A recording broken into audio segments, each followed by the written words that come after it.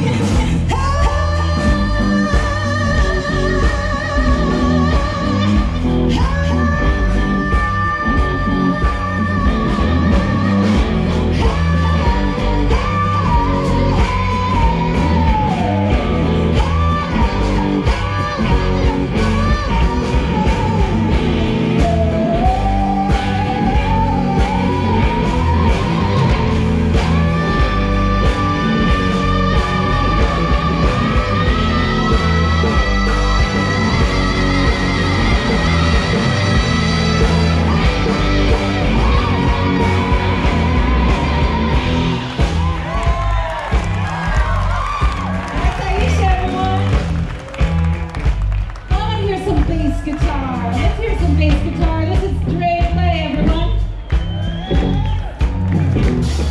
everyone.